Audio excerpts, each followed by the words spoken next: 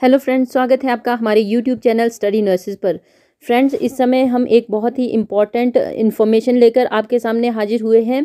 हिमाचल प्रदेश सरकार ने हिमाचल प्रदेश कर्मचारी चयन आयोग का अस्तित्व खत्म कर दिया है और इसकी घोषणा आज ही की गई है। हिमाचल प्रदेश कर्मचारी चयन आयोग को अब भंग कर दिया गया है। मुख्यमंत्री सुखविंदर सिंह सुक्खू ने कहा कि पिछले तीन वर्षों में हुई अनियमितताओं के मद्देनज़र राज्य सरकार ने हिमाचल प्रदेश कर्मचारी चयन आयोग हमीरपुर को तत्काल प्रभाव से भंग करने का निर्णय लिया है। इस बारे में आज ही अधिसूचना भी सरकार की ओर से देर शाम को जारी की गई।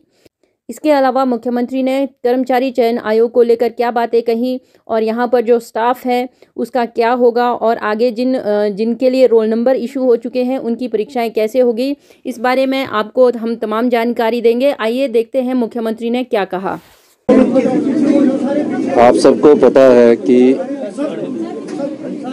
Himachal Pradesh Subordinate Selection Board जो था, उसको निलंबित किया गया था। हमीरपुर में इस चयन योग में जो भर्तियाँ हो रही थी, उस पर धांधली पाई गई थी। और उसको हमने जब निलंबित किया, उसके बाद उसकी इंक्वायरी हमने एक आईएएस ऑफिसर अभिषेक जैन, जो सेक्रेटरी एजुकेशन थे, उनको सौंपी, जो डिपार्टमेंटल के द्वारा इंक्वायरी की जानी थी। और हमारा विजिलेंस में जो आई आईजी है, उनको हमने ये इंक्वायरी सौंपी।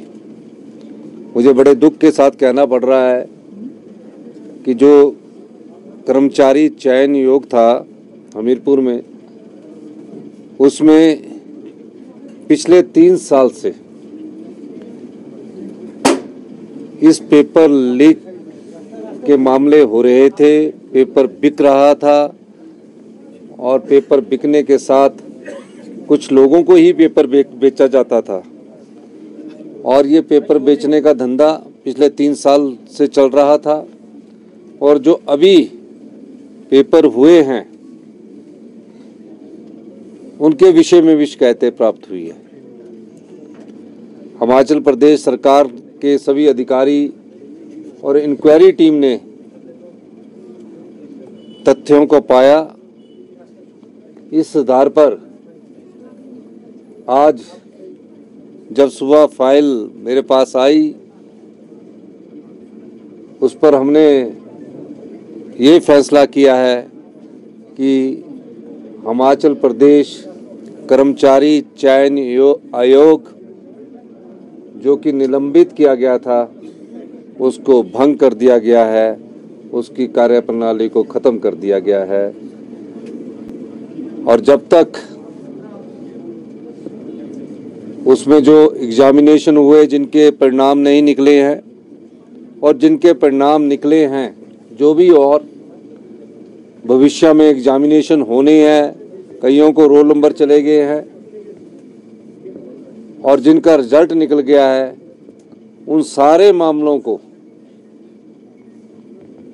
Himachal Pradesh Public Service Commission जो यहाँ एच का टेस्ट लेता है, उसमें स्थानांतरित तुरंत प्रभाव से कर दिया गया है। यानी कि जिनके रिज़ल्ट निकल गए हैं, उसके आगे के डॉक्यूमेंटेशन जो चेक होने हैं वो अब Himachal Pradesh Public Service Commission करेगा और जिनके जो अगले एग्ज़ाम्स होने हैं, उनको भी Himachal Pradesh Public Service Commission करेगा और ये तब तक करता रहेगा जब तक कि वहाँ कोई अल्टरनेट के रूप में या टेस्टिंग एजेंसी के रूप में जो हम नेशनल टेस्टिंग एजेंसी का अध्ययन कर रहे हैं, जो नेशनल लेवल पर रिक्रूटमेंट करती है उनके सभी पहलुओं की हम जाँच पड़ताल कर रहे हैं, जब तक कि उसका गठन नहीं किया जा किया जा सकता है। इस जो भी उस कर्मचारी हमारे हमीरपुर में कार्यरत थे, उनको सबको सरप्लस रूट में डाल दिया गया है, सरप्लस पूल में डाल दिया गया है, और उनको कहा गया है कि आप आप अपनी किस विभाग में, दूसरे विभाग में जाना चाहते हैं, उसकी ऑप्शन हिमाचल प्रदेश सरकार में वो लिख कर देंगे। मेरा ये मानना है, जब किसी संस्था पर उंगली उठती है और इंक्वायरी के बाद ये पाया जाता है कि इस संस्था पर उंगली उठी है और पेपर बिके हैं, उस संस्था की विश्वसनीयता पर सवाल खड़ा हो जाता है। और इस प्रकार तथ्य पूरे हमें मालूम हुए और पूरे तथ्यों के आधार पर आज ही हमने हिमाचल प्रदेश पब्लिक जो हमीरपुर में चयन नियोग है, उसकी पूरी इंक्वायरी करने के बाद ये पाया कि यहाँ टॉप से लेकर बॉटम तक लोग शामिल थे और इस दृष्टिकोण से हमें ये कड़ा फैसला लेना पड़ा है। और हम हिमाचल के जितने युवा हैं, हमने पहले भी कहा है कि अब आपकी परीक्षाएँ जो अभी जब तक जो जिनके रोल नंबर चले गए हैं, वो Himachal Pradesh Public Service Commission लेगा और जिनके रिज़ल्ट निकल गए हैं, उनके डॉक्यूमेंटेशन की जो चेकिंग है, वो भी Himachal Pradesh Public Service Commission द्वारा ली जाएगी। और जो आगे इंटरव्यू होने हैं, उन इंटरव्यूओं को भी जब तक कि नई एजेंसी नहीं आ जाती, Himachal Pradesh Public Service Commission ही लेगा। देखिए डिपार्टमेंटल इंक्वायरी भी हो गई है और दूसरी इंक्वायरी भी टाइम बाउंड मैनर्स में आ गई है। जो भी लोग इन्वॉल्व है, उनके खिलाफ इंक्वायरी चल रही है, कुछ को अरेस्ट कर लिया गया है और उसके बाद हमने ये पाया कि हमें क्या फैसला करना है? युवाओं के साथ धोखा ना हो।